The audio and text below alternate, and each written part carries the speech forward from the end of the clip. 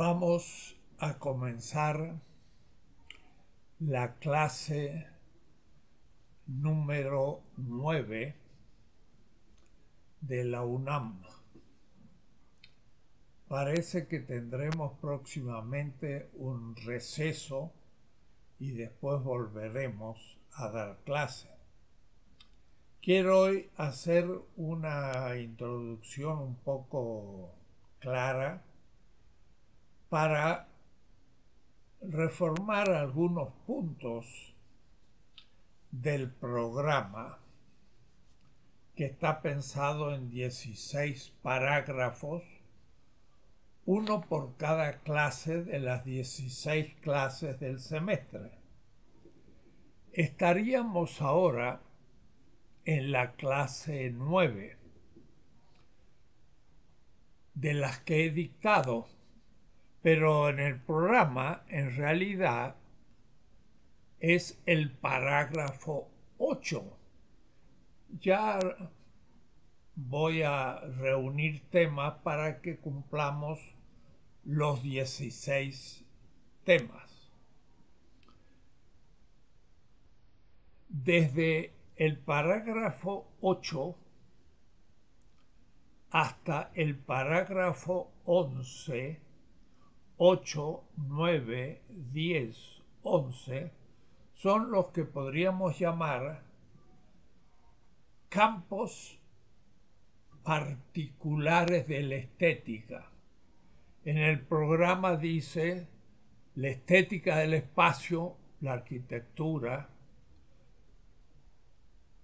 El segundo punto sería ahora cambiado en el parágrafo 10, que sería el 9, que es la estética del campo visual, la escultura primero y la pintura después.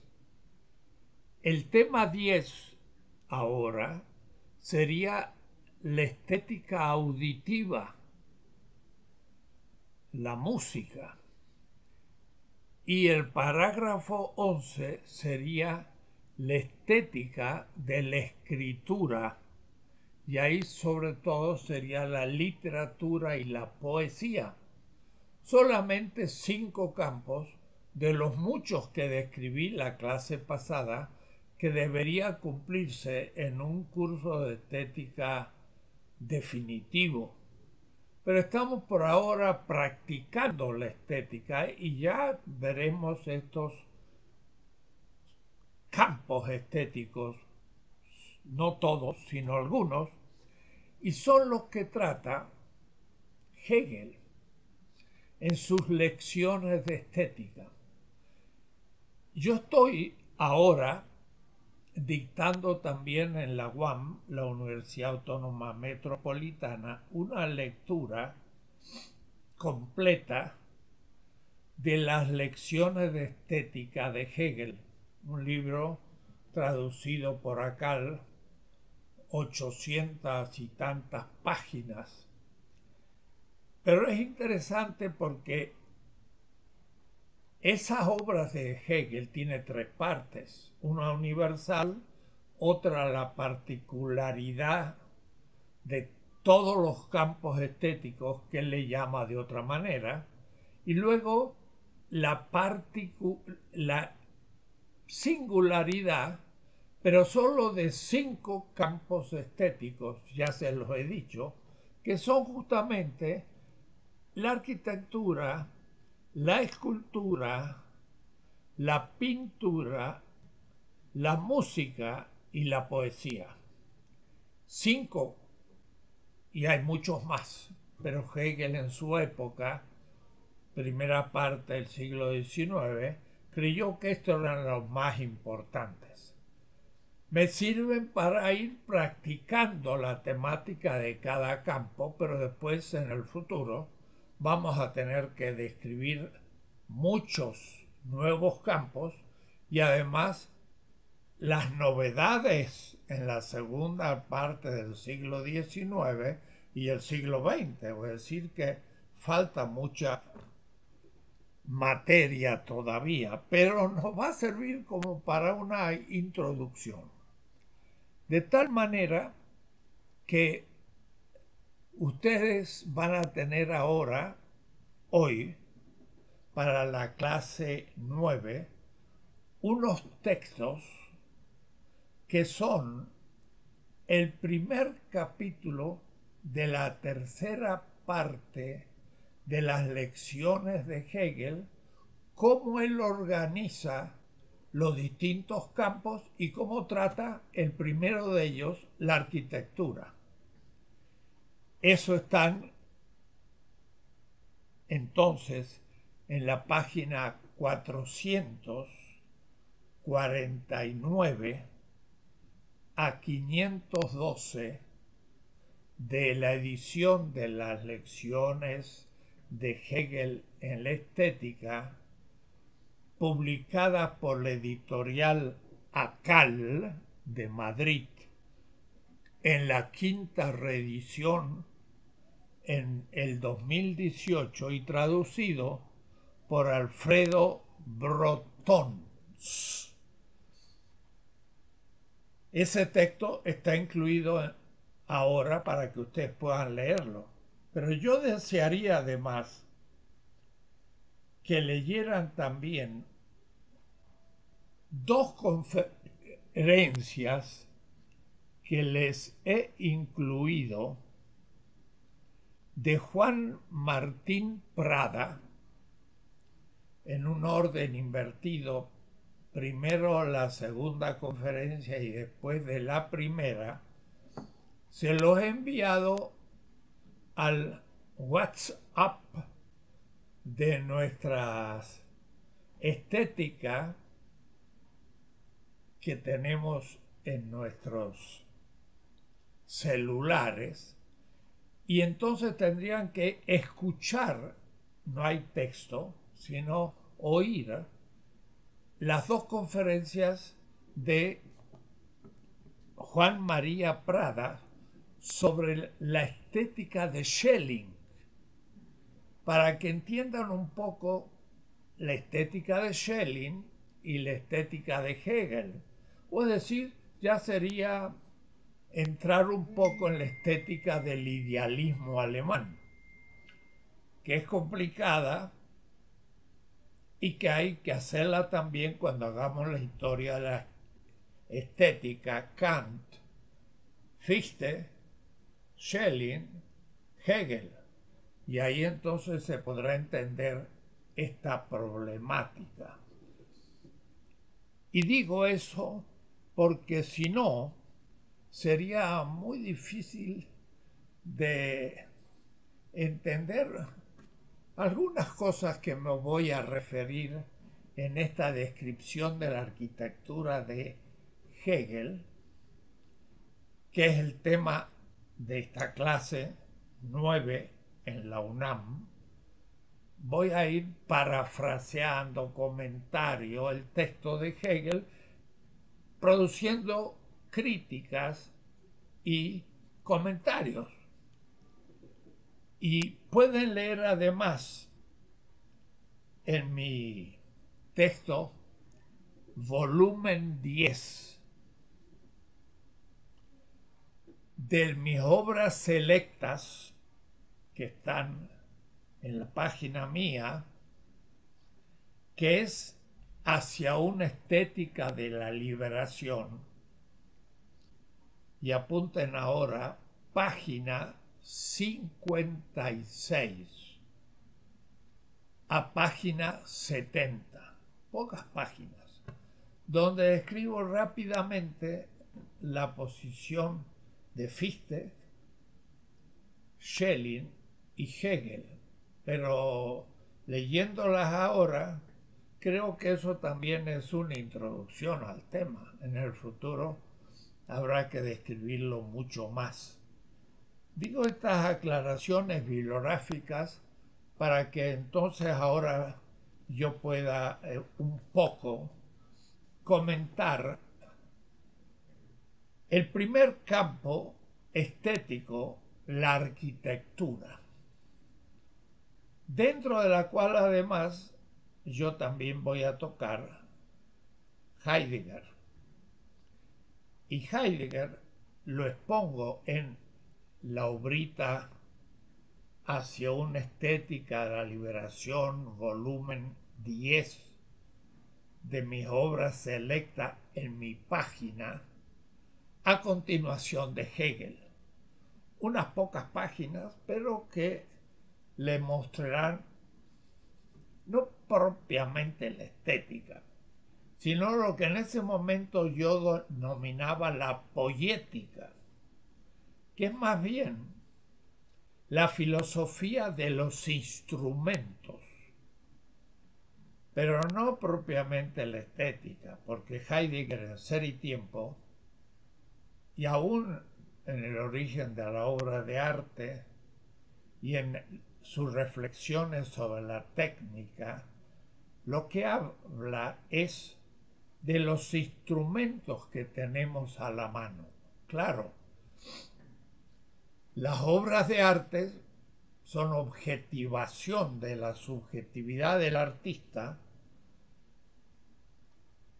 y adquiere una existencia independiente, empírica, material, que puede ser considerada desde la producción del artista, y sería la poética, puede ser considerado en tanto obra bella y sería la estética, y entonces hay muchas maneras de considerar el instrumento.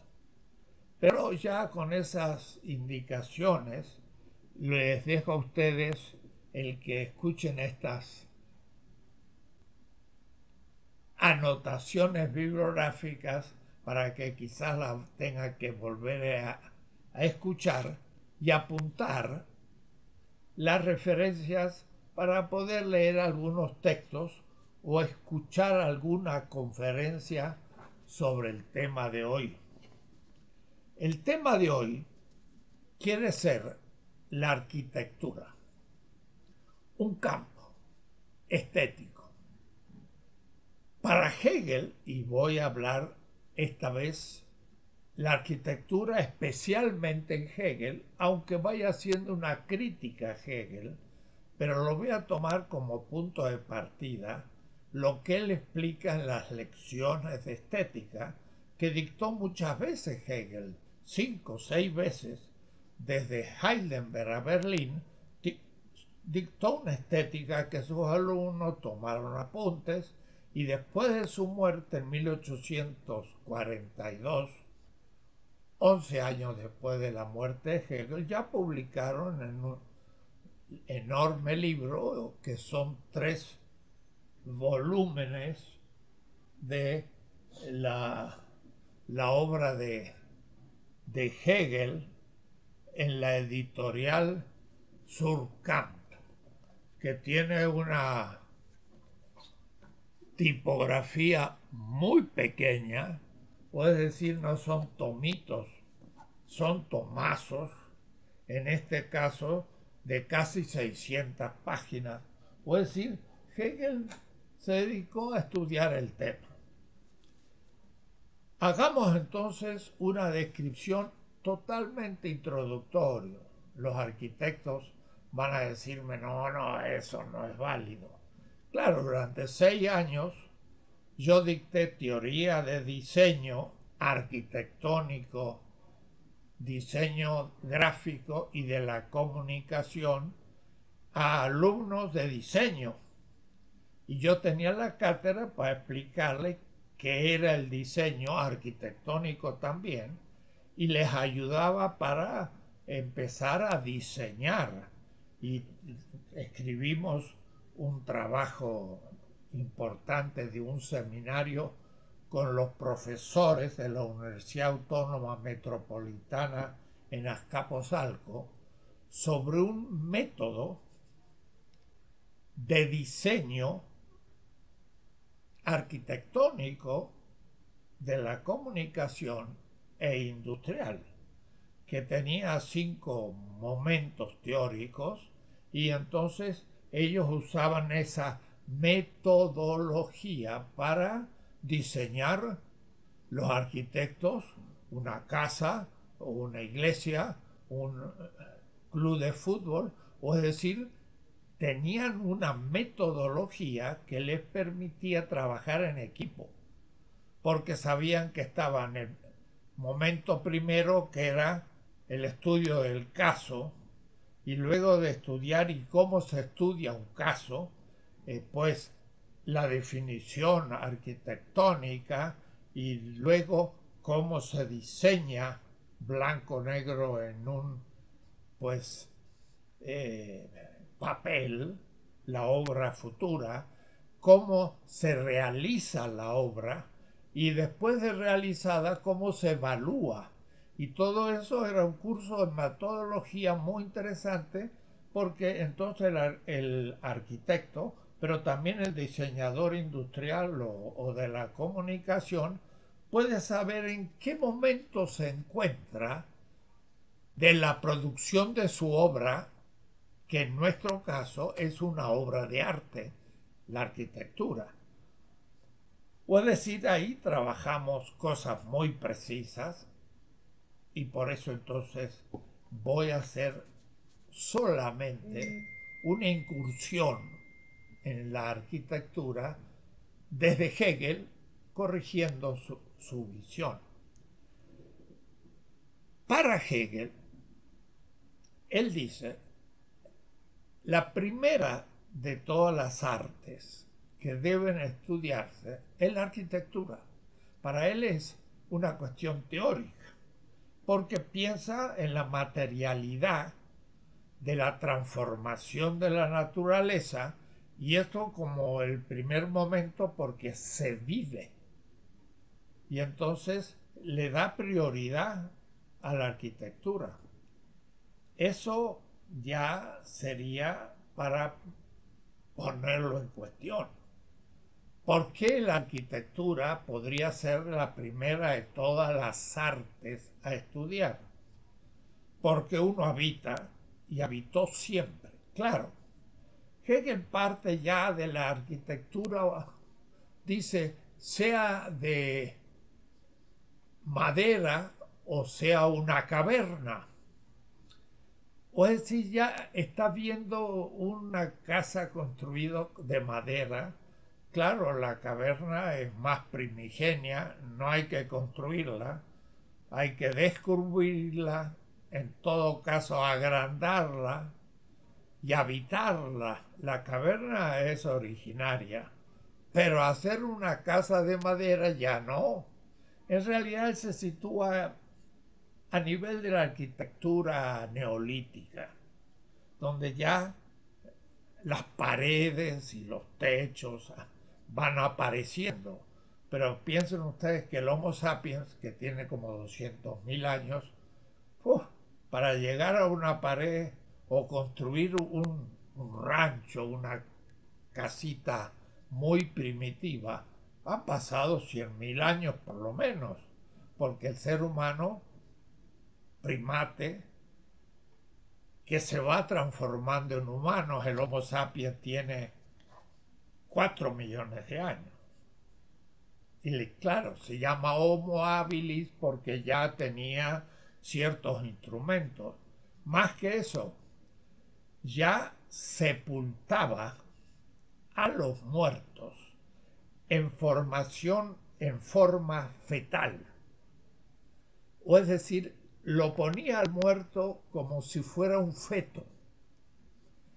Quiere decir que la muerte era considerada como un nuevo nacimiento y significaba que había una cierta celebración de la muerte. Y eso cuatro millones de años hace antes del Neandertal, del Pithecanthropus y muchísimo antes del Homo sapiens. Ya se lo consideraba un primer tipo de Homo. Para poder venerar la muerte hay que ya tener el concepto de vida y muerte, o es decir, un sentido de la muerte, y celebrar la muerte colocando al cadáver de una forma, no lo hace ningún animal, ni siquiera los primates superiores. Significa ya una cierta concepción teórica, un cierto sentido de la existencia y un quizás, como dicen algunos antropólogos, ante el, el temor por la muerte y el peligro en que consiste perder la vida, se la ordena, se la mete dentro del orden, celebrándola para poder incorporarla a la vida cotidiana ya no que esté por allí perjudicando la vida cotidiana. Es ya una actitud humana o pseudo o proto humana. Quiere decir que hace cuatro millones de años no había todavía Homo sapiens, ni tenía tan desarrollo eh, su cerebro por su cráneo, pero ya había un ser humano. Quiere decir que ya también habitaba de alguna manera muchos años, mucho antes que unas paredes que construyan una casa. Y la arquitectura empezaría ahí. Y el primer modo de quizás vivir había sido un nido. Y un nido todavía arbóreo en la selva, porque todavía no terminaba de descender de los árboles o era reciente. Y un primate duerme en los árboles, porque se defiende de los otros animales que en la noche es muy peligroso y no hay que estar en la superficie y como el ser humano, por la evolución cierta, surge en el este del África tropical o selvática, pues, y, sin embargo se va secando esas selvas y se va transformando en una planicie de estepa. Y en ese, en ese clima y en esa geografía, justamente había, por ejemplo, leones, que es uno de los animales propiamente dicho carnívoros. Quiere decir que el ser humano convivió desde sus orígenes con los carnívoros más poderosos quiere decir que tenía que dormir de alguna manera protegido en las alturas de un nido. La arquitectura habría empezado como un nido, ni siquiera como una caverna. También podía ser simultáneo una caverna, pero la caverna se la encuentra de vez en cuando y hay que acondicionarla y no es tan fácil. El nido sí se construye en un árbol. En fin, para decir que Hegel ya está pensando casi en el neolítico, la arquitectura autónoma como una producción ya avanzada, mientras que en realidad el habitar es mucho más antiguo. Y si vamos a pensar que el habitar es algo fundamental y primero en el ser humano, pues yo le preguntaría, así como el ser humano debía dormir y protegerse mientras dormía y por eso tenía que tener un lugar seguro que va a ser la proto hogar, el proto hogar, el primer hogar. Y cuidado, hogar viene de una fogata, el hogar. Y el pitecántropo pequinense hace unos 600.000 años descubrió el fuego Quiere decir que el hogar como casa existe después del fuego. Pero pongamos que antes del fuego no se le llama hogar y no está tan seguro. Era una necesidad humana y está muy bien. Es entonces un tipo de producción estética muy antiguo. Pero al mismo tiempo yo diría como al habitar también el comer comemos desde siempre. Come una planta, pero claro, absorbe el agua y los nutrientes, no come, pero absorbe de la naturaleza su, los materiales para la reproducción de la vida, comen los animales, eso sí ya comen, y los seres humanos comen desde siempre.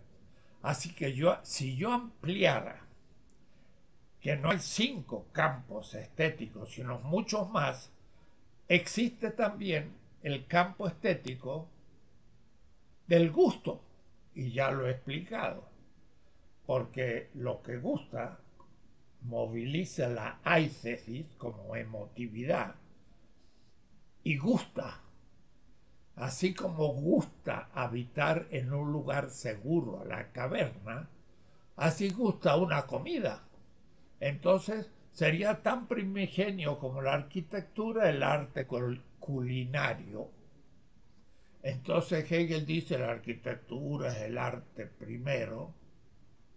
Yo digo, no, las, todas los tipos de artes surgen simultáneamente. Claro que algunas muy primitivas, porque su elaboración y crecimiento van a exigir muchos instrumentos que exigirá también un, avance de la civilización.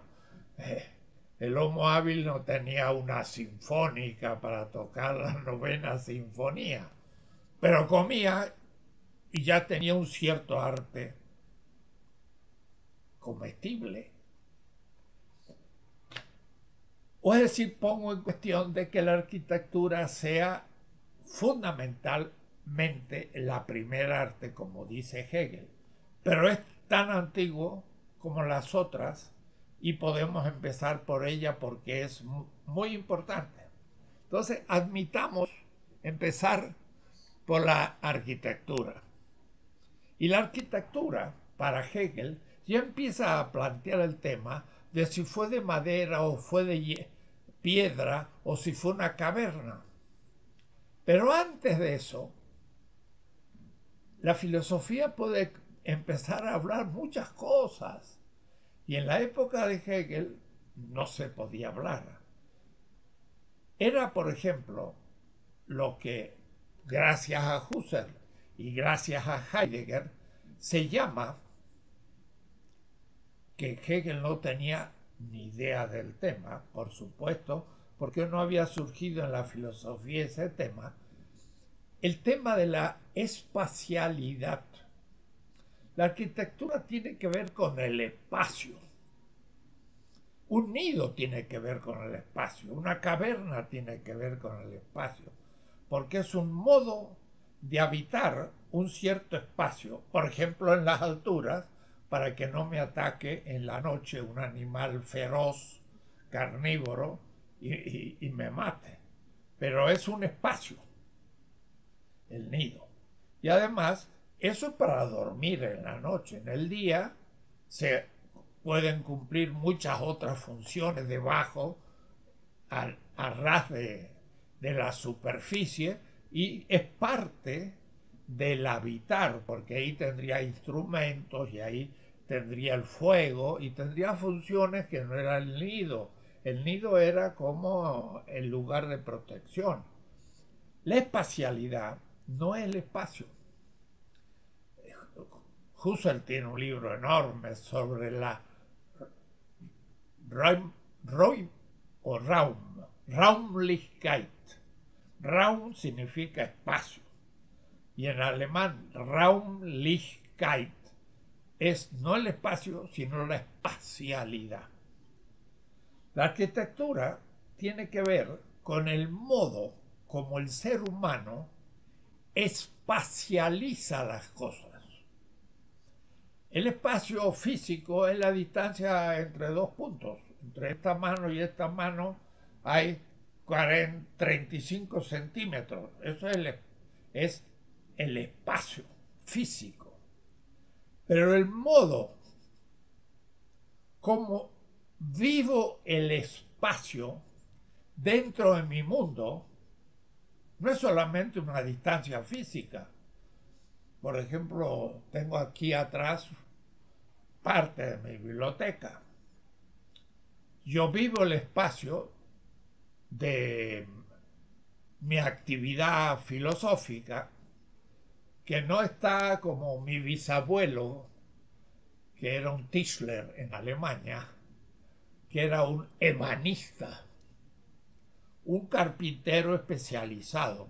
Y entonces yo me acuerdo de la caja de instrumentos de, de mi bisabuelo, donde estaba dibujado el martillo y el serrucho o la sierra y la tenaza y todos los instrumentos estaban exactamente puestos en un lugar.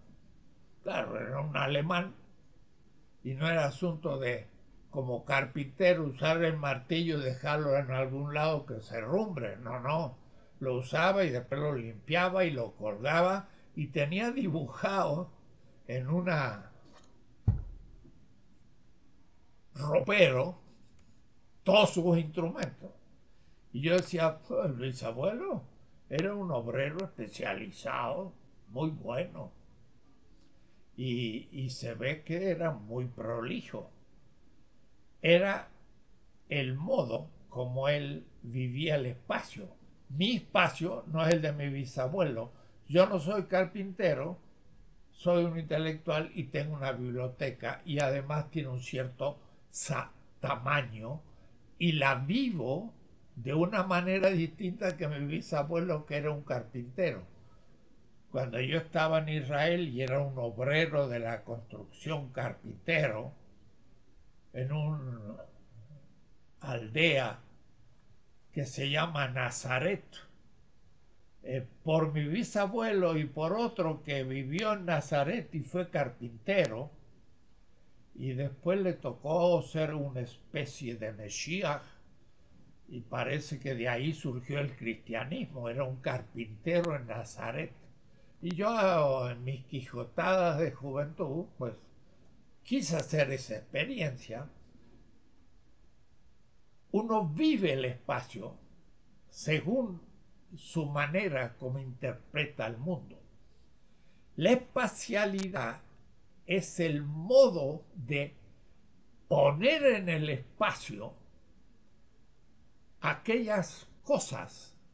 Un alemán le llama da sein, el ser ahí, un ente con un sentido en su vida.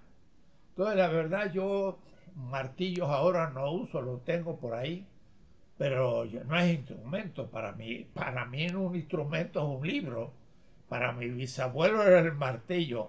Con un libro no hacía nada porque no podía hacer un mueble con un martillo. Y, no le daba ninguna importancia porque en su mundo de carpintero había otros instrumentos, otro proyecto de vida y otra manera de ocupar el espacio. Heidegger entonces dice, somos en el mundo. Y en el mundo vivimos dimensiones específicas de nuestro mundo. Él le llama a eso, no quiero hacer un curso sobre Heidegger, existenciarios.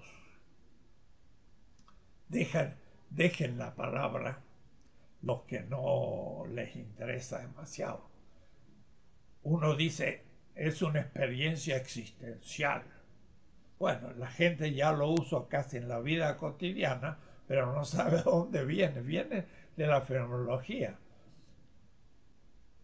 El modo como cada ser humano vive su mundo en el espacio se llama espacialidad.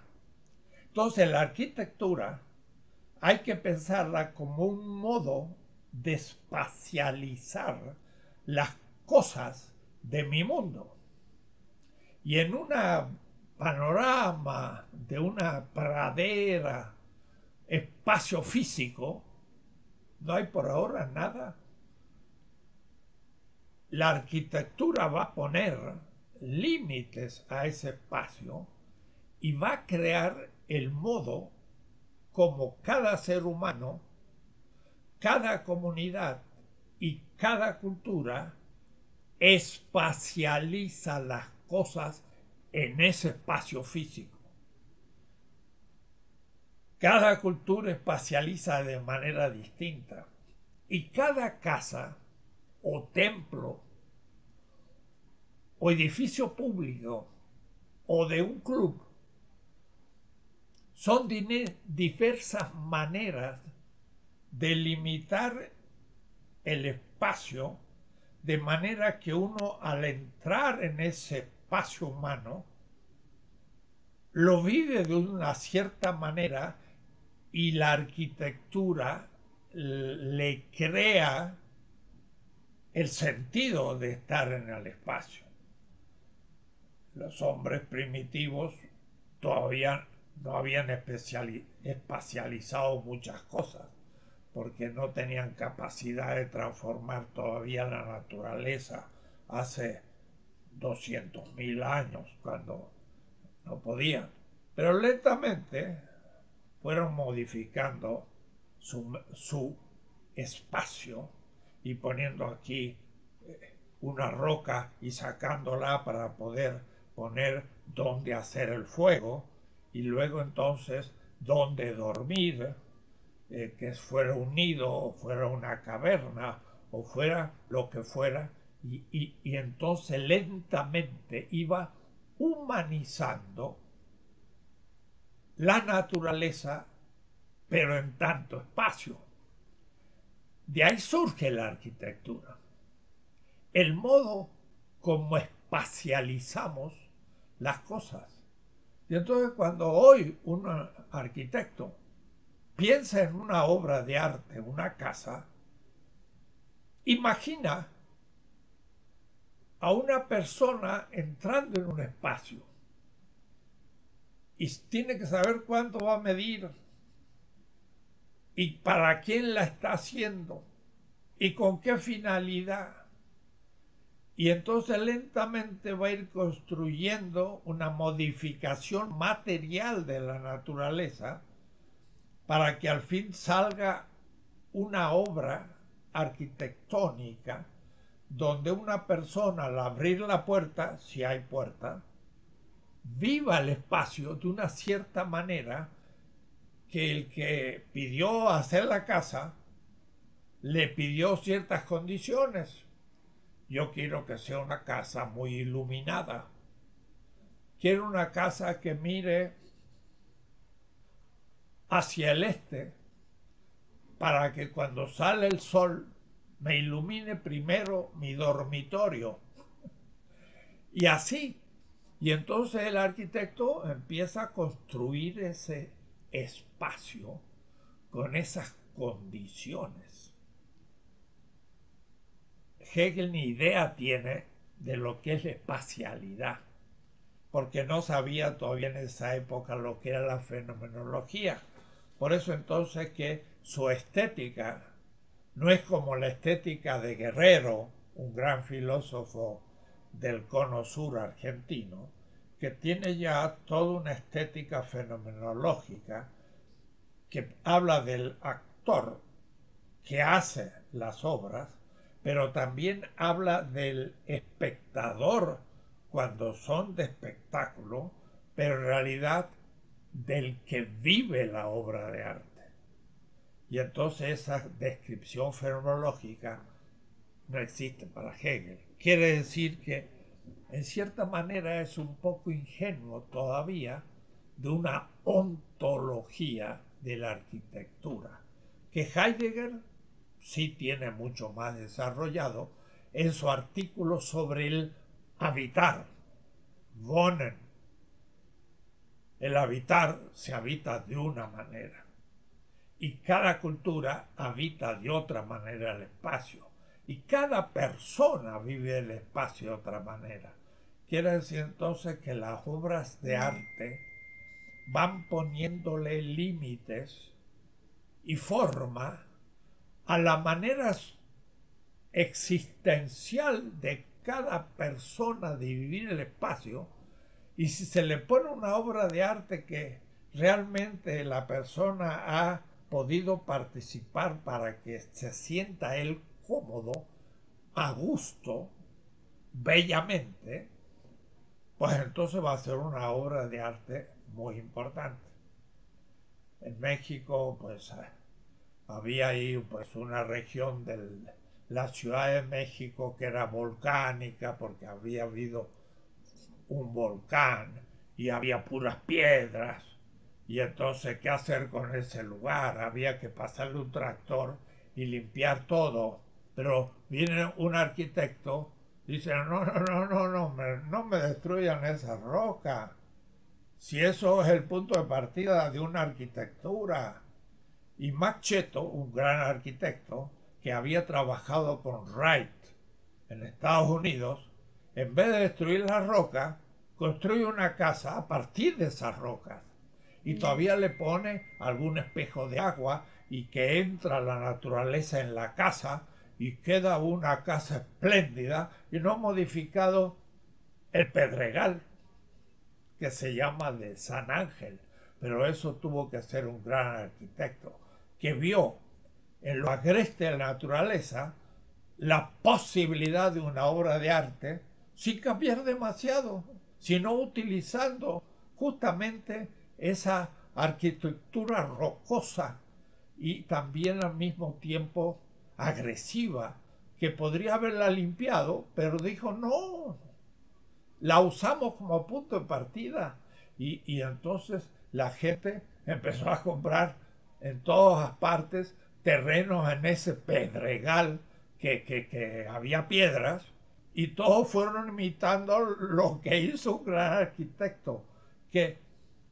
creó una espacialidad humana en un medio natural agreste que fue incorporado al interior de la casa porque es lo que había hecho Wright en Estados Unidos, que la casa incorporara a la naturaleza y entonces uno se sentía más en la naturaleza, pero en una casa que limitaba el espacio de una manera bellísima, utilizando la naturaleza y además con un jardín xerófilo, o es decir, con pencas y plantas del desierto, que ni hay que regarlas y es lo propio del lugar, y entonces son bellas, son naturales, y son una casa agradable. Eso es un gran artista. Bueno, la espacialidad sería todo un curso para poder explicar la arquitectura, nada más. Nada de eso podemos.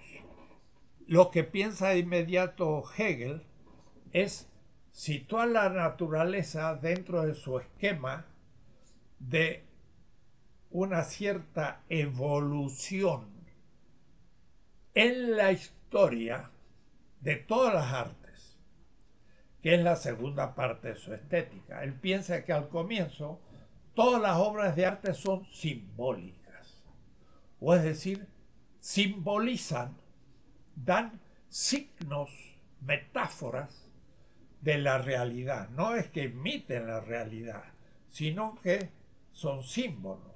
Pero ahí mete todas las artes de lo que él llama el oriente. Entonces, no solo se salta el paleolítico y todo el, origen de todas las artes, que ya se plantea en el neolítico, sino que además toma el oriente como lo más primitivo.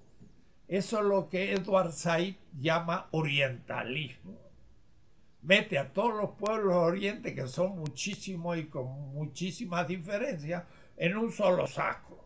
Todos los gatos en un solo saco. Y le llama el oriente. Y luego Hegel está en el occidente, pero vamos a ver cómo. Entonces ya sitúa la arquitectura de la Mesopotamia, de chinos o hindúes muy poco, y se centra un poco más en el Egipto. Y entonces le llama la atención el Egipto.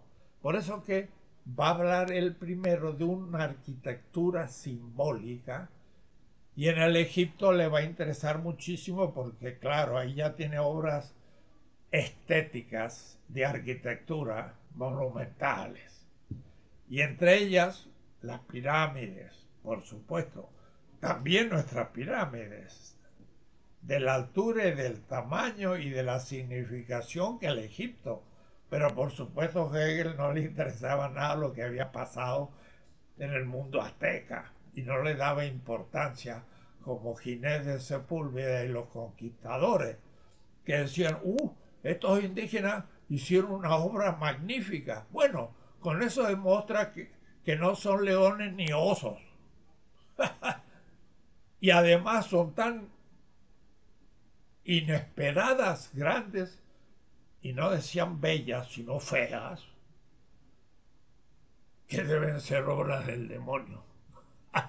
o es decir, los indígenas no podían hacer obras de ese tamaño y de esa belleza, pero no las podían ver como bellas, sino como demoníacas, o decir, feas. Ya veremos esos temas eh, más adelante en el programa. Y pensaba que las pirámides eran tumbas. Y efectivamente tenían muertos. Pero esos muertos estaban conservados y por tanto momificados. ¿Por qué? En la India y entre los medos persas y en los indoeuropeos al cuerpo se quema. ¿Por qué? Porque el, cuerpo es origen del mal, porque hay un alma y el cuerpo uf, tiene demasiados deseos contradictorios, sexual, de codicia, de esto, lo otro. El cuerpo es el pecado original tener un cuerpo es toprotopacacón, es el pecado primero. El pecado original no tiene nada que ver con Adán y Eva, tiene que ver con el cuerpo de todos los pueblos indoeuropeos, incluidos Grecia y Platón y Plotino, que tomaban al cuerpo como el mal y por eso quemaban el cuerpo, porque era el mal y el alma volvía a ser con los, con los dioses ingenerada, no había nacido el alma, sino caído en un cuerpo y inmortal porque no muere.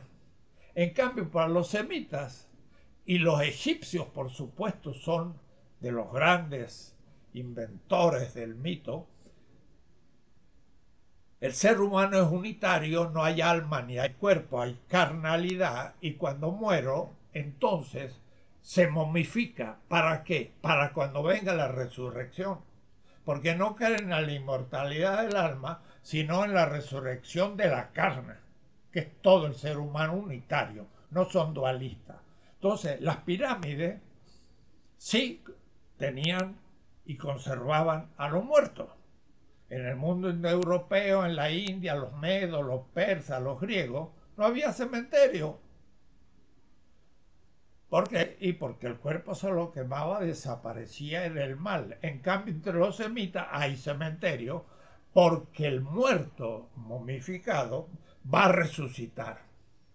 Entonces la pirámide no es algo tétrico, negativo, cementerio. Es el lugar donde el muerto espera la resurrección de tal manera que está cobijando todavía la carnalidad del muerto para cuando venga el juicio final de Osiris, sea declarado justo y vuelva a la vida. Una arquitectura tremenda, miren, miles de toneladas de piedra que hablan de un mito positivo. La vida humana es eterna. La muerte es pasajera, va a resucitar. Interesante, porque entonces son optimistas ante la existencia. Pero bueno, no les voy a explicar esto, porque entonces no hacemos un curso de estética, sino de antropología filosófica. Pero en fin,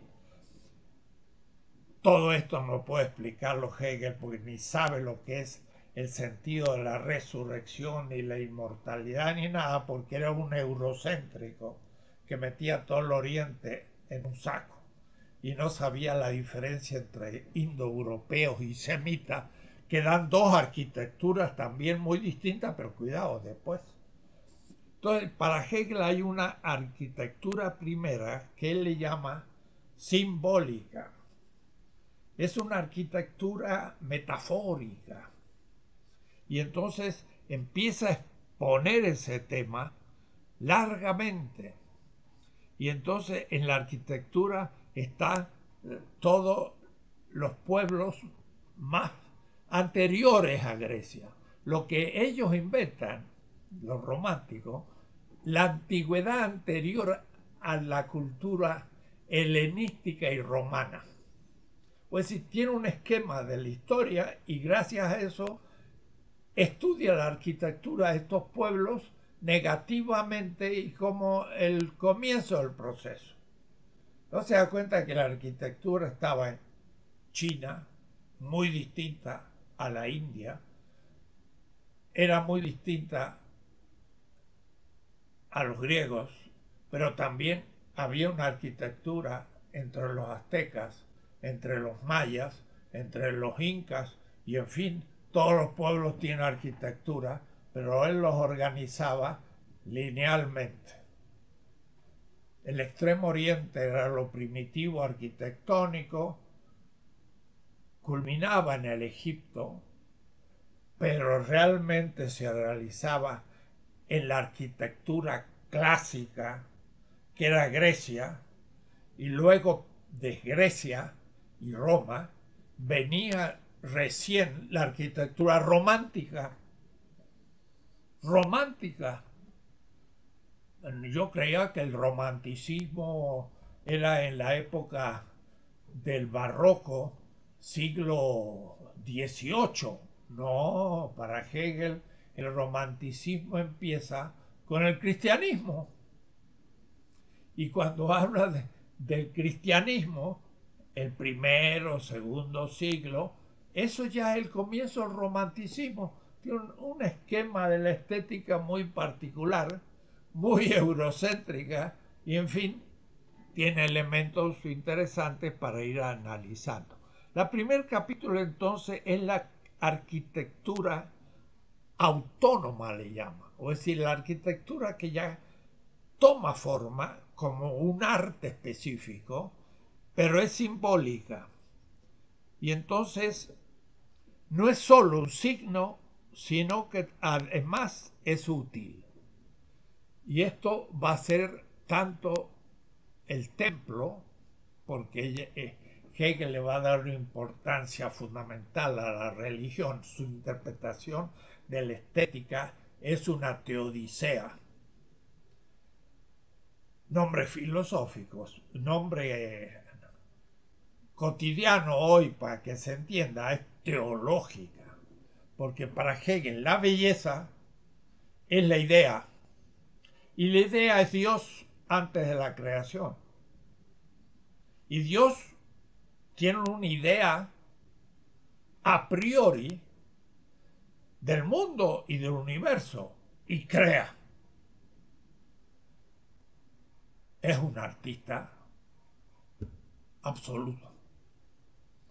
Porque él, que es la belleza, crea como el artista una obra y esa obra es el universo, o es decir, todo lo cósmico y todo lo que existe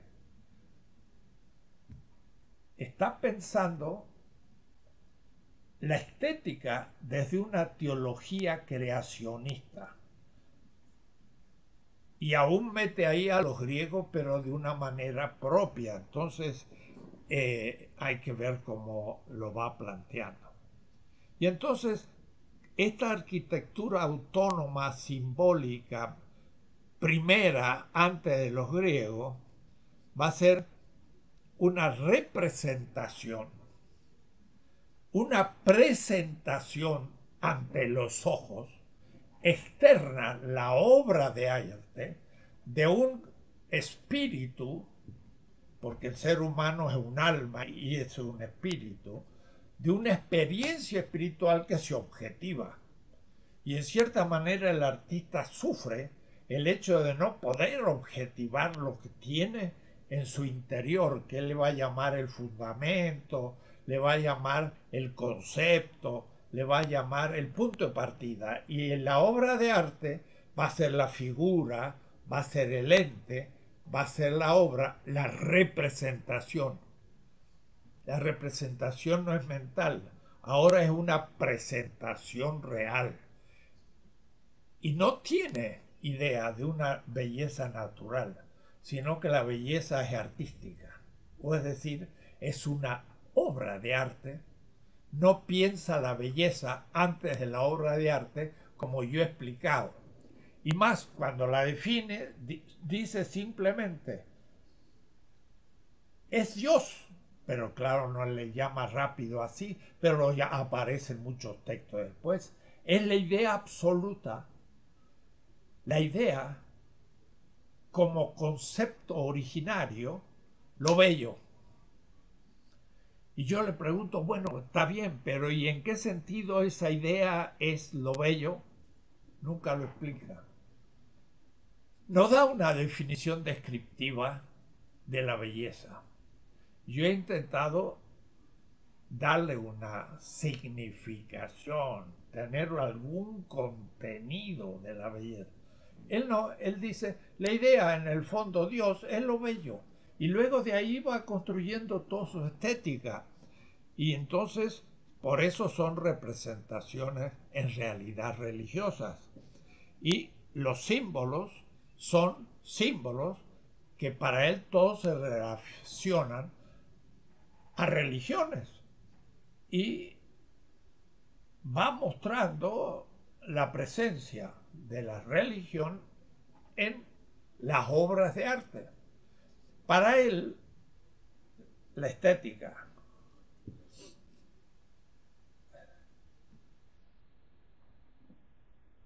El segundo punto es la religión y el tercero, el saber absoluto. Son la tercera parte de su sistema acerca del espíritu absoluto. Entonces, la estética ya es lo absoluto, es mucho más que el derecho, es mucho más que la economía, que todo. Son las tres epistemes fundamentales, la estética, la religión y la filosofía como el saber absoluto. Esa es la diferencia con Schelling. Para Schelling, la religión es el presupuesto pero se culmina en la estética. Para, para Schelling, la estética es la realización absoluta y el saber absoluto y la religión son los peldaños anteriores a la estética. Para Schelling, la estética es la episteme máxima. Para Hegel lo es la filosofía y la estética es una representación sensible, real y material, obra de arte. La religión ya son los mitos que justifican esa forma y el saber absoluto es el acto mismo, por último, de la divinidad que se recupera como saber absoluto. Entonces es ahí donde viene la polémica con Schelling la arquitectura simbólica culmina para Hegel en el Egipto y las pirámides son colocadas, por ejemplo, como gran obra de arte. Después empieza a hablar el primer punto, la obra arquitectónica como unidad del pueblo. El pueblo, la comunidad, se unifica en torno al Estado.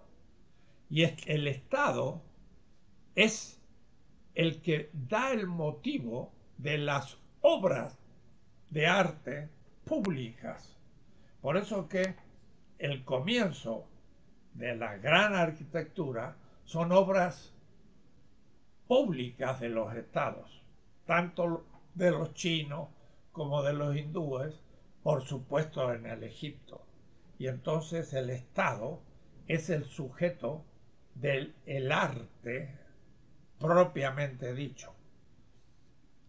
Si hiciéramos un análisis hegeliano de México antes de la conquista, encontraríamos la pirámide mayor.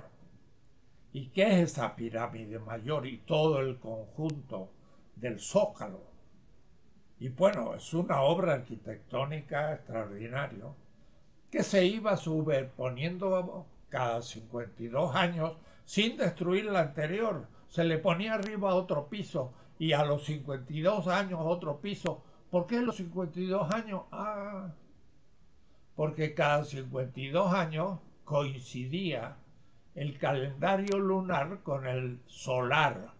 Y ahí empezaba una gran nueva época, porque los dos calendarios empezaban de nuevo a coincidir, se iban separando y volvían a los 52 años a coincidir.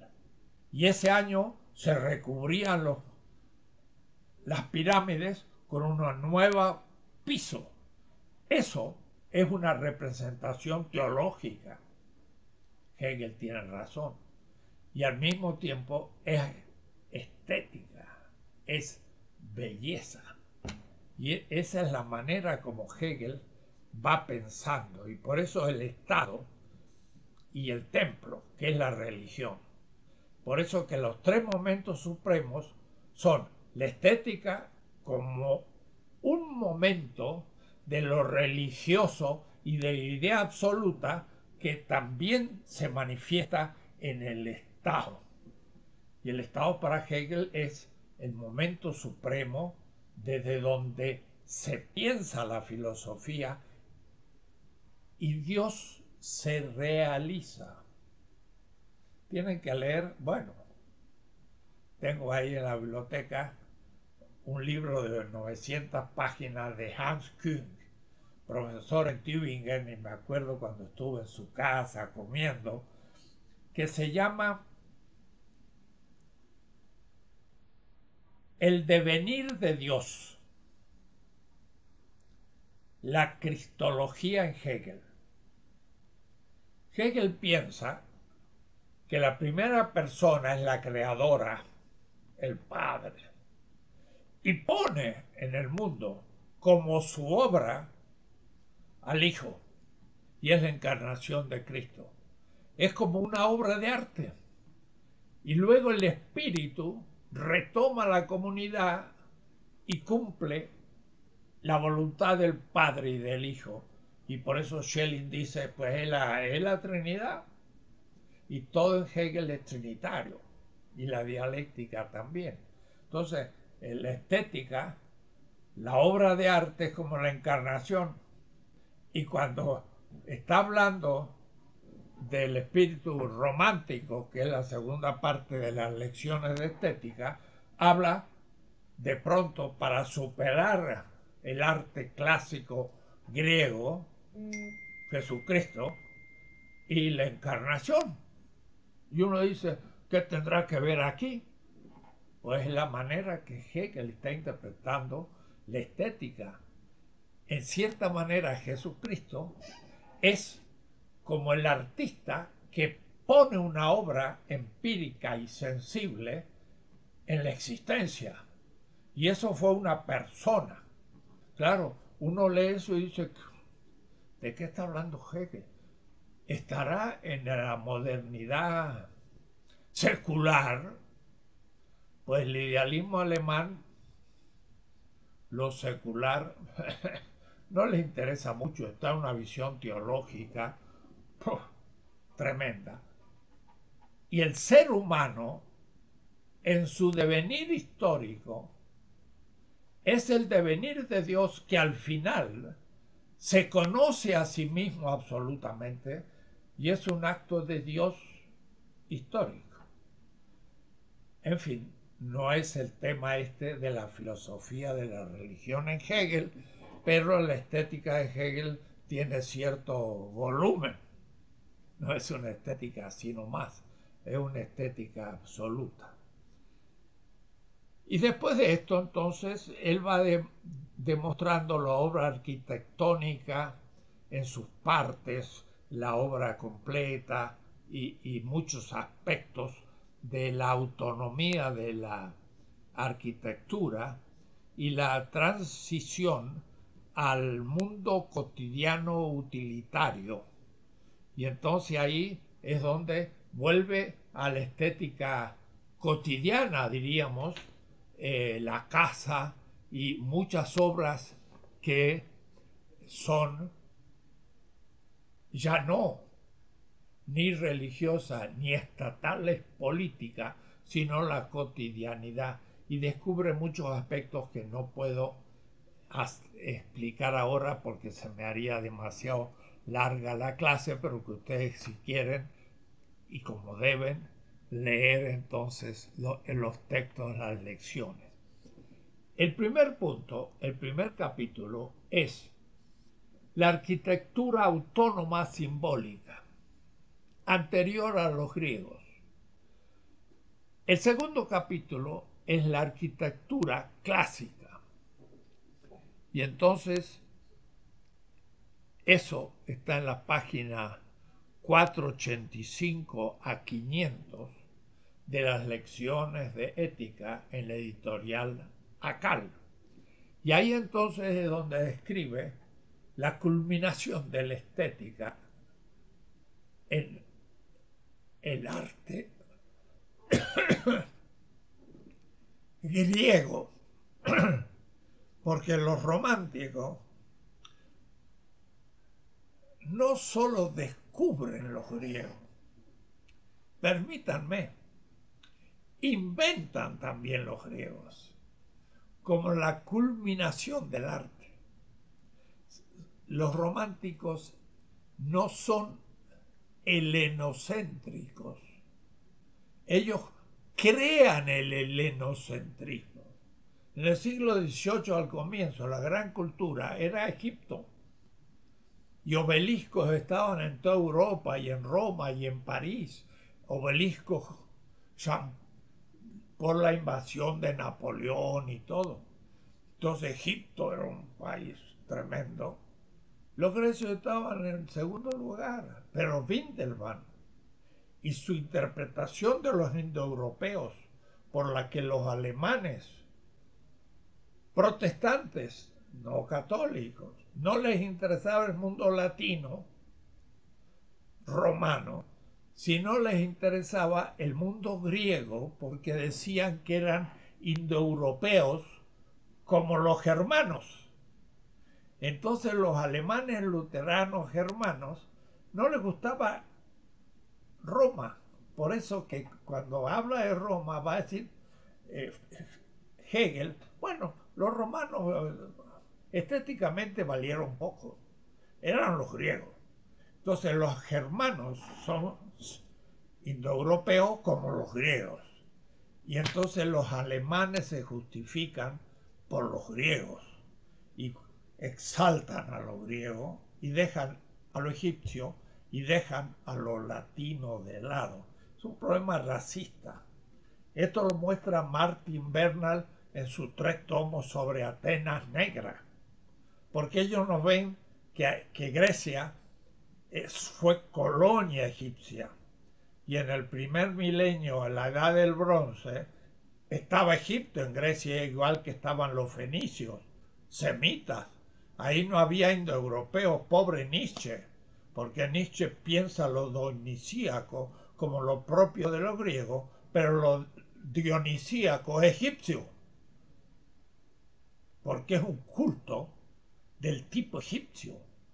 Y además, por ejemplo, la Odisea, las aventuras de un navegante, allá por el 800 antes de la era común o cristiana, pues una repetición de las grandes aventuras de los fenicios en el año 2000.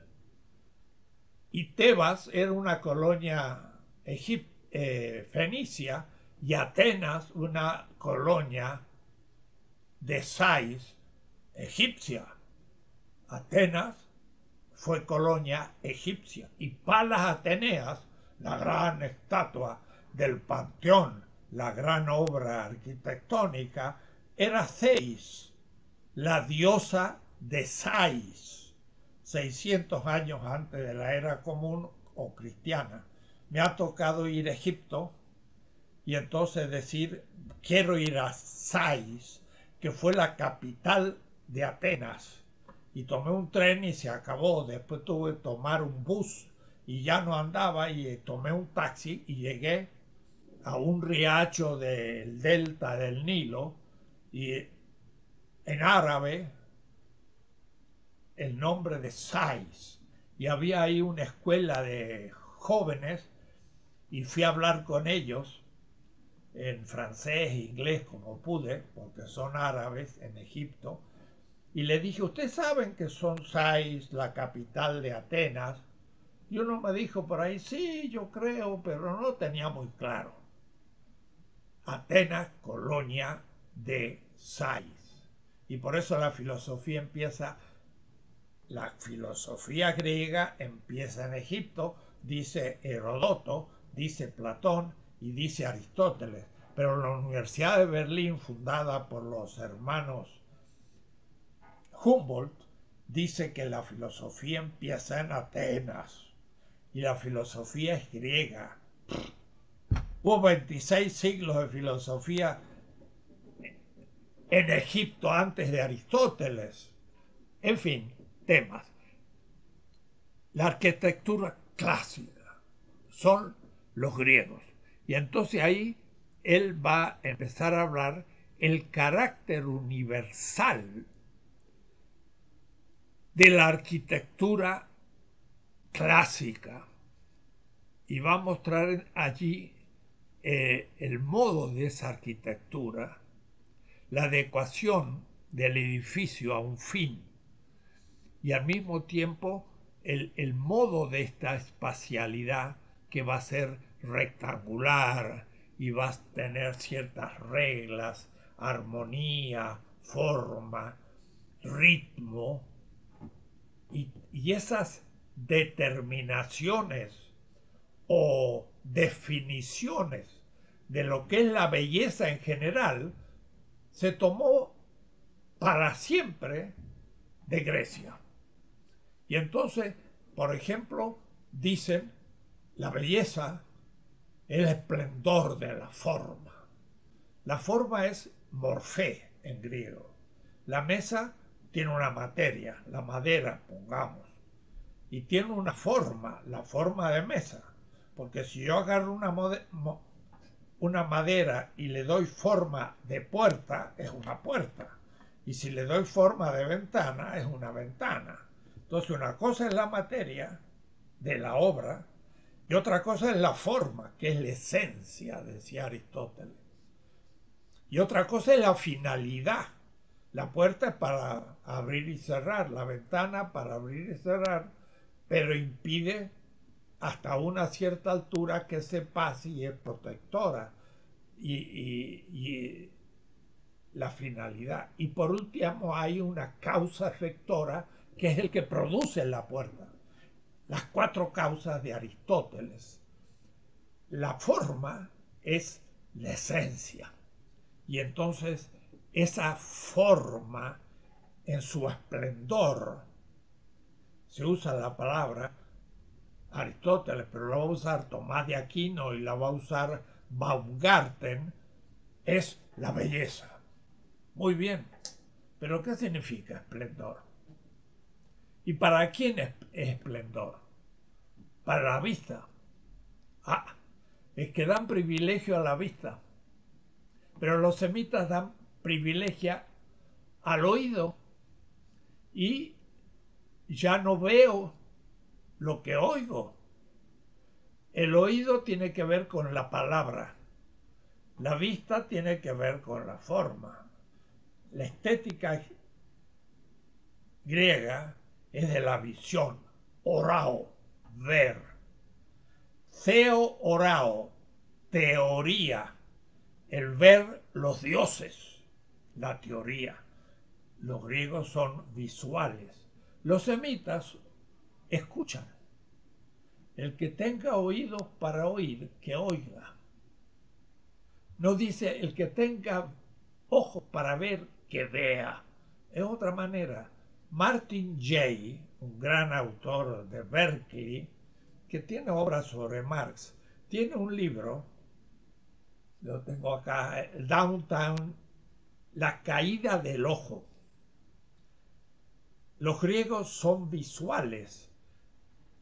Hegel es completamente visual. Ya les dije, pero lo repito, él cree que hay cinco sentidos. La vista, el oído, el gusto de la piel, el perfume. Perdón, la piel no es lo mismo que el gusto. El gusto son papilas gustativas y la piel tiene sensibilidad de temperatura y más. Pero Hegel dice bien explícito, solamente vamos a contar con dos sentidos para hacer la especificación de los tipos de obras de arte. La vista, la arquitectura, la arquitectura y la pintura. Y el oído, para escuchar la música. Pero claro, entre los griegos la música era todavía no muy desarrollada. Eso lo van a desarrollar los románticos. Y son los únicos dos sentidos. Y él dice, el olfato, el gusto, la las papilas gustativas y, y, la piel, la sensibilidad, pues no, no producen realmente ningún tipo de arte específico. Le da función importante a la vista.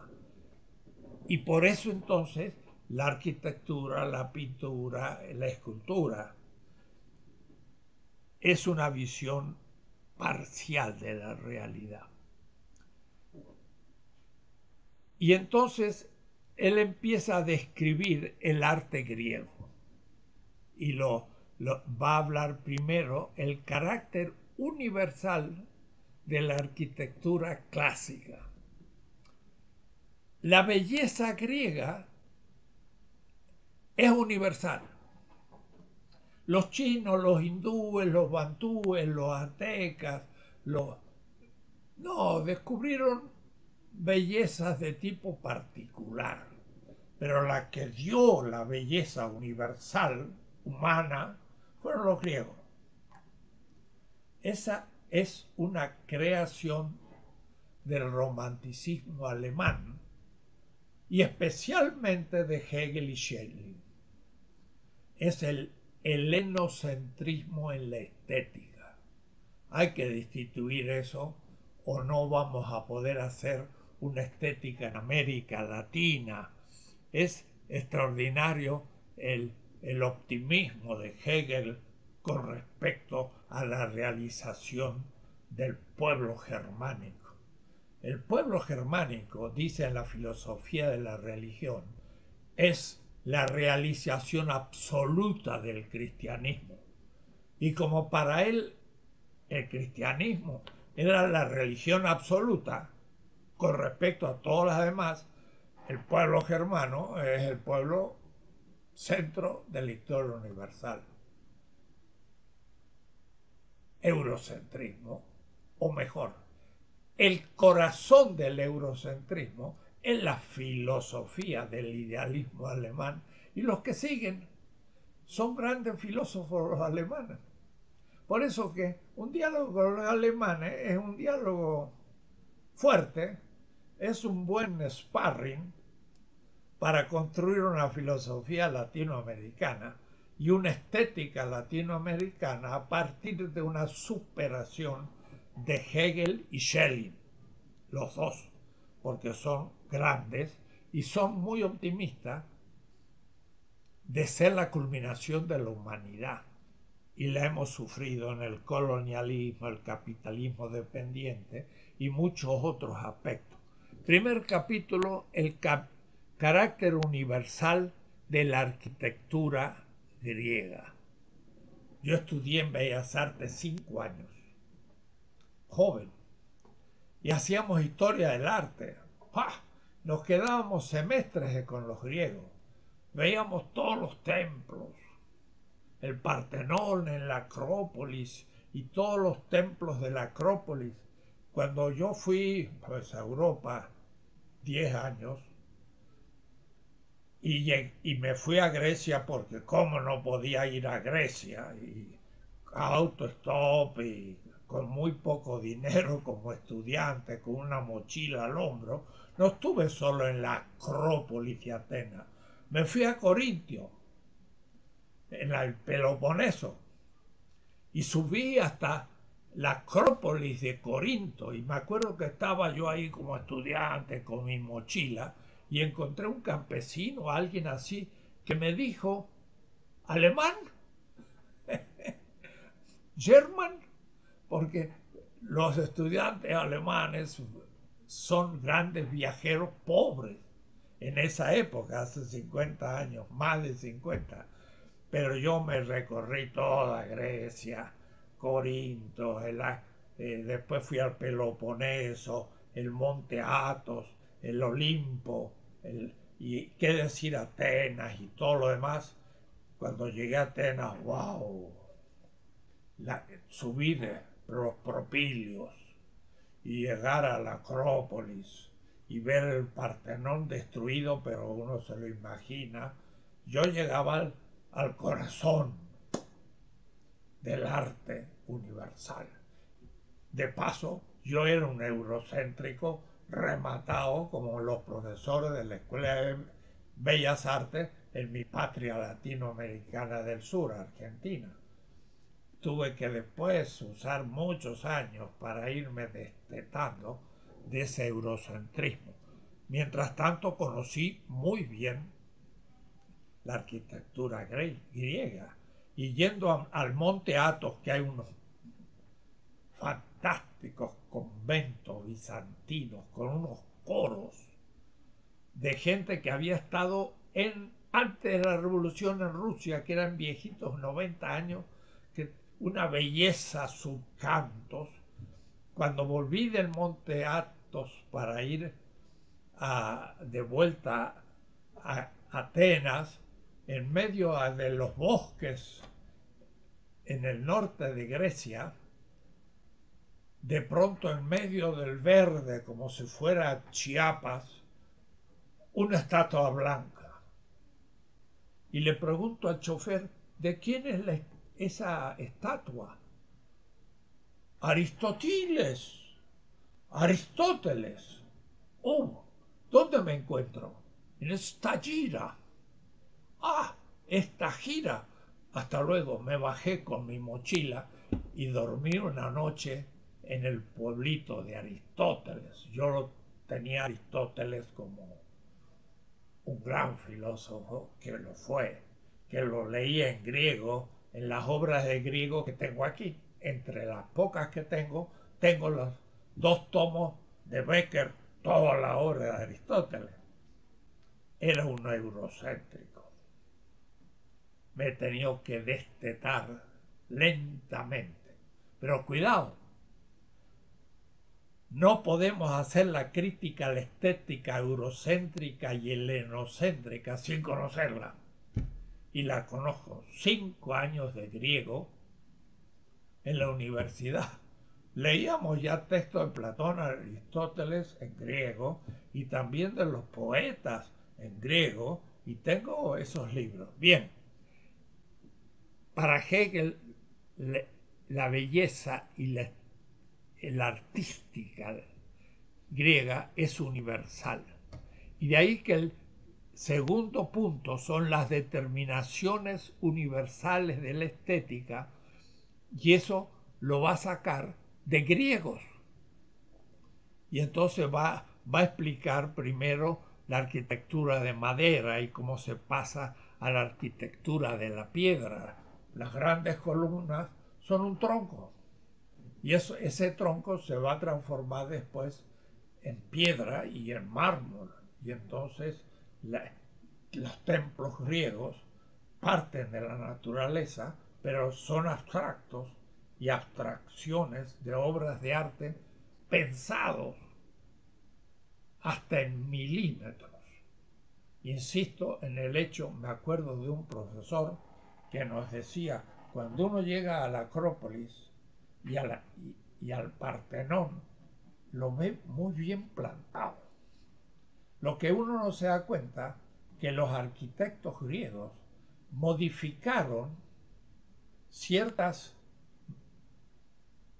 diríamos así, ficciones de la visión, porque al, ver uno una superficie plana, la parte central está más cerca y las otras lejanas se, se hacen como una curva. O es decir, uno ve algo que geométricamente es perfectamente horizontal, lo ve como una curva. Entonces, ¿qué hacían los griegos? Lo hacían una curva hacia arriba compensatoria, de tal manera que cuando uno estaba enfrente, veía uno eso bien recto, más recto que ninguna línea recta, pero en realidad era una curva que estaba modificando la modificación de perspectiva del... Lo mismo las, las columnas. Cuando uno ve unas columnas paralelas, uno entonces se le junta arriba porque ya está en perspectiva. Pero para que no se vean que están juntándose y estando verdaderamente perpendicular a la tierra, entonces los griegos lo que hacían era abrirlas y compensaban el efecto de la visión, de tal manera que uno la veía más paralela que ninguna otra, y en, verdad no eran paralelas, sino que compensaban la perspectiva, en fin. Los griegos eran grandes arquitectos. Pero esa arquitectura no es universal, es bien particular porque hay otras arquitecturas que hicieron otros grandes hallazgos de otro tipo para otras finalidades. Y entonces Hegel estudia las formas particulares del templo, cómo están sustentadas, cómo funcionan las columnas, cómo funciona el muro, cómo funcionan los techos que claro no tenían el medio punto romano y eran piedras y no ladrillos y entonces muchas veces eran de madera, mientras que los romanos, que Hegel desprecia, sin embargo toman el ladrillo que es descubierto en, el Éufrates y Tigres, en la Mesopotamia, en Babilonia, que construyen con arcilla del desierto en lugares donde no hay montaña y no hay buenas mármol ni hay piedra cerca, con la arcilla del río Éufrates y Tigre, hacen una estructura material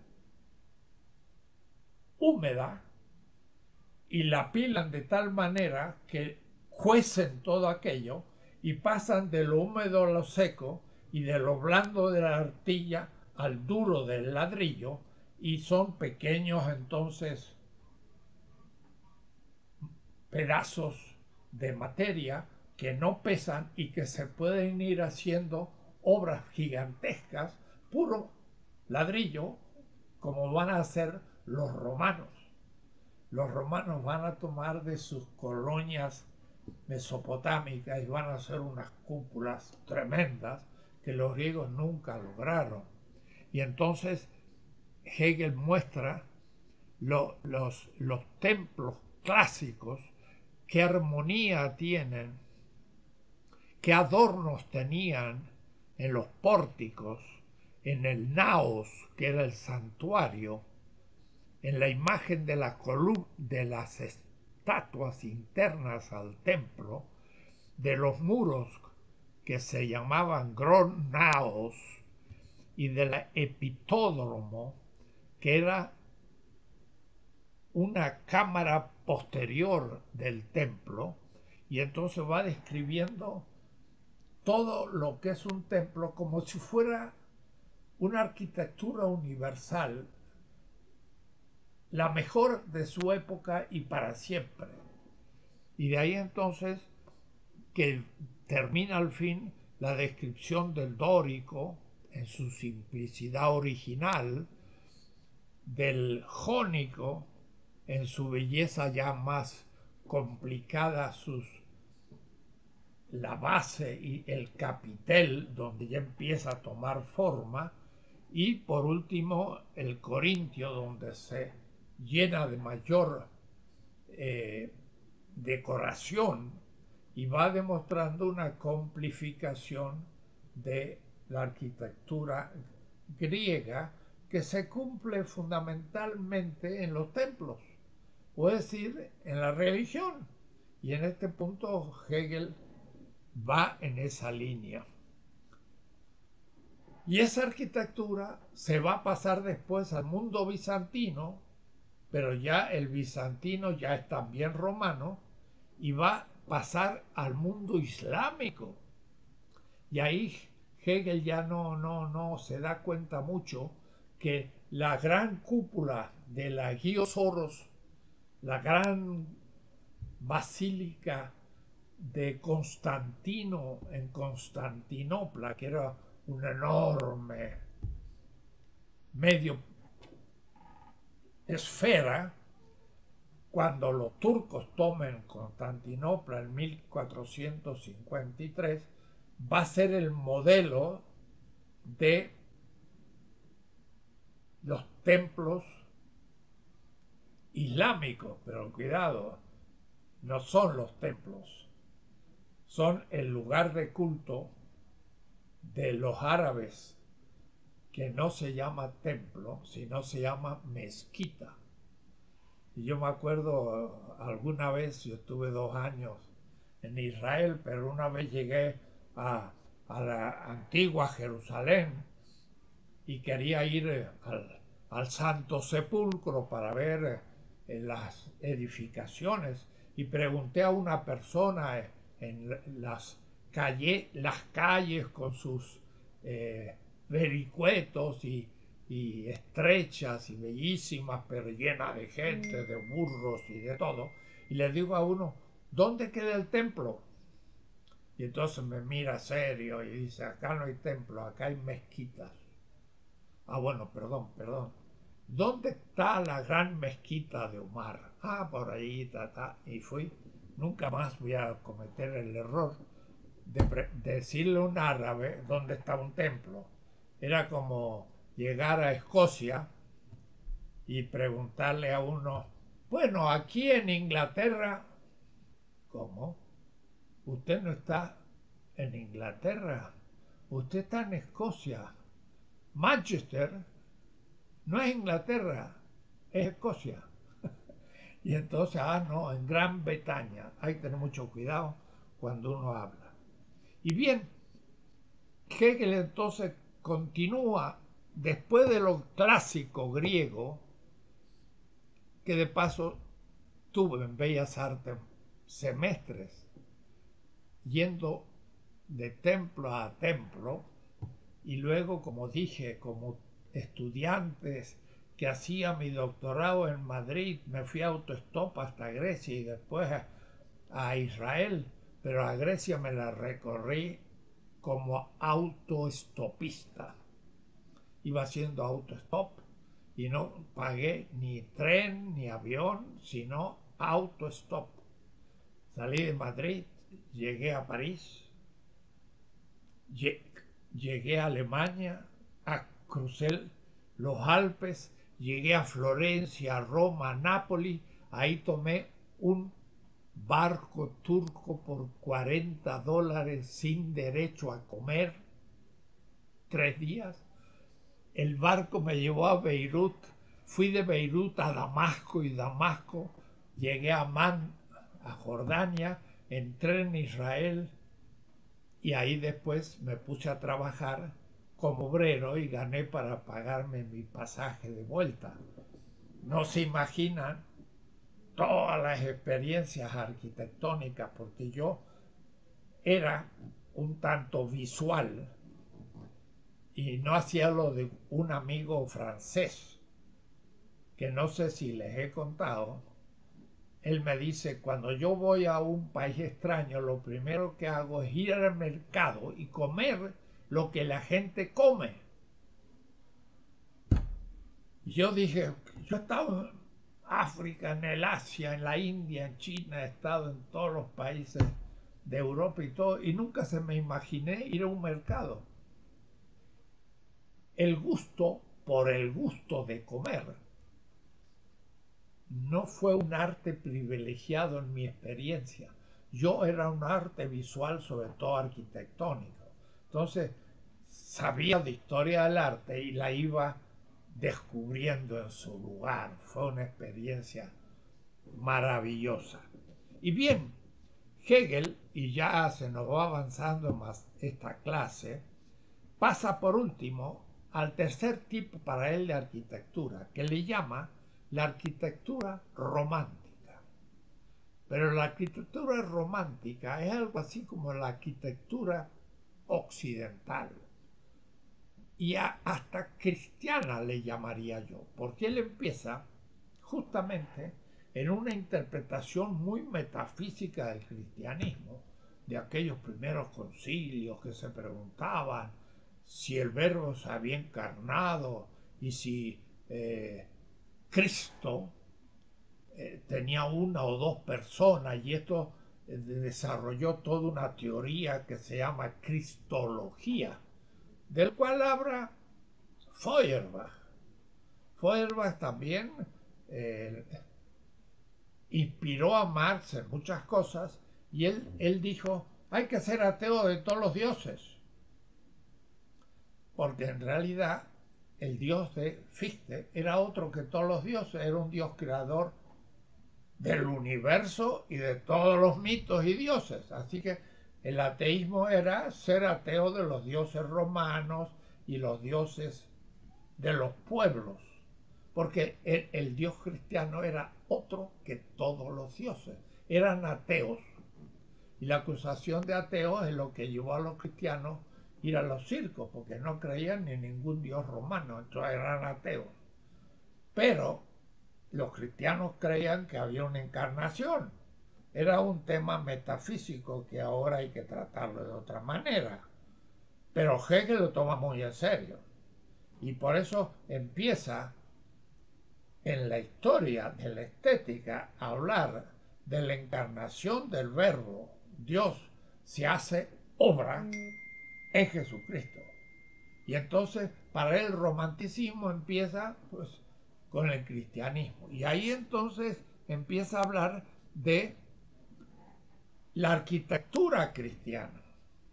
Y entonces estudia, pero no lo hace del todo como debiera, porque como era muy eurocéntrico y pasaba de los griegos a Europa, se olvidaba de todo el pasaje de los griegos a los bizantinos y de los bizantinos a los islámicos que fueron los herederos de Bizancio.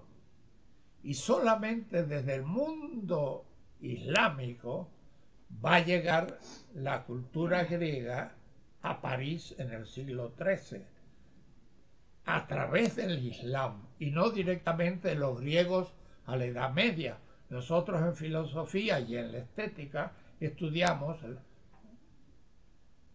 la estética de los pueblos más primitivos y luego pasamos a los griegos y de los griegos pasamos a los medievales latinos y de ahí pasamos a la modernidad. ¿Qué pasó con Bizancio? ¿Qué pasó con el Islam? Ah, no tiene nada que ver. ¿Cómo? Si los griegos son los bizantinos y, toda la herencia griega es Bizancio. Y el arte de Grecia se vivió en Bizancio. Y la continuación del arte bizantino fue el arte arquitectónico islámico. Y de ahí pasó recién a los cristianos. Claro, cuidado. El arte de los germanos, ahora sí, y de los franceses, no tanto a los españoles que también, pero Andalucía y España fue parte del califato de Bagdad. Entonces eran, eran más romanos que Francia y los alemanes. Francia había sido Roma, pero ya era germánica y la Alemania no había sido ni parte del imperio romano, por lo tanto era más germánica. Y entonces ahí sí hubo un arte que después del cristianismo primitivo Hegel propone la arquitectura gótica. Y la arquitectura gótica sí podría llamarse arquitectura romántica, pero no en el sentido del romanticismo del siglo XVIII, sino muy distinta. Y entonces la arquitectura románica no continúa la arquitectura de los romanos, que era medio punto, era una cúpula. Y en cambio los germanos empezaron a, eh, hacer una arquitectura realmente nueva de piedra, cuyas columnas se prolongaban sin capiteles, y cuando uno ve la catedral de Ulm, por ejemplo, son como troncos muy delgados que se internan en el cielo y que al fin se cierran en el techo, pero el techo mismo como en nervaduras vegetales que hacen pensar en el infinito. Entonces el arte gótico, sí, realmente, arquitectónicamente hablando, es una invención novedosísima, que a su vez usa los vitrales enormes, porque en realidad las iglesias góticas, pero también hay edificios públicos y castillos que se van transformando en gótico, aunque los grandes castillos eran de forma más bien romántica, eh, romana o románica. Las grandes catedrales góticas eran columnas y dejaban grandes ventanales que a su vez se transformaban en vitrales, vidrio, de colores maravillosos, donde se figuraban como pintura mitos y actos religiosos, que cuando el sol impactaba, entraba al templo una luz coloreada tremenda. Entonces realmente la arquitectura gótica es romántica en un sentido fuerte, pero claro, después va a sufrir modificaciones y se va a hacer el barroco y propiamente surgirá la arquitectura romántica como la piensa Hegel y eso es toda una historia ya dentro de la modernidad. Bien, esto es para dar una imagen muy rápida de un capítulo de la estética, que es la arquitectura. Dentro del esquematismo eurocéntrico de Hegel, vamos a después mostrar otro esquema de la historia y por lo tanto otra posibilidad de también la arquitectura. Pero eso se tendrá que hacer lentamente en el futuro.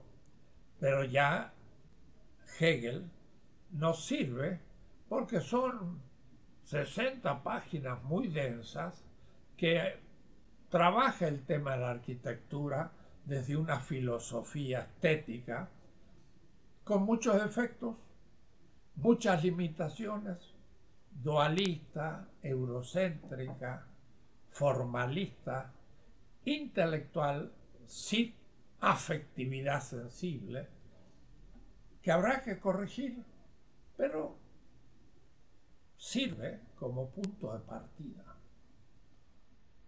Por hoy interrumpimos esta clase y la próxima continuaremos con otro campo estético que vamos a trabajar la escultura. Porque la arquitectura y la escultura van juntos hasta hace muy poco. Los griegos al fin ponían la gran imagen de Palas Ateneas en el centro de un gran templo arquitectónico. y la arquitectura estaba junto a la escultura. Y lo mismo va a pasar a muchos otros niveles. La arquitectura se emparenta más por la profundidad del espacio con la arquitectura, pero también se va a ligar a la pintura por la forma que la pintura va a expresar en una sola dimensión. En cambio, la escultura lo va a hacer en las tres dimensiones y entonces va a tener un impacto muy particular, pero sin las ventajas de la pintura, que por ejemplo tendríamos que ir a China para ver lo que significa una pintura con muy pocos temas, pero con textos sagrados también de Confucio y demás, que hace que la pintura tenga un relato poético y entonces ya se hace algo más complejo. Bueno, terminamos por hoy con estas limitaciones porque podríamos hacer, des en cuenta, cursos y cursos sobre historia de la sola arquitectura, pero una estética general filosófica debe incluir grandes temas, pero no puede ser exhaustivo.